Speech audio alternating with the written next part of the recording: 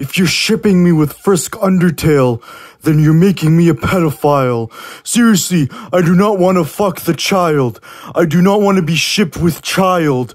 You are making me pedophile. It doesn't matter that you age the child up. That is basically pedophilia.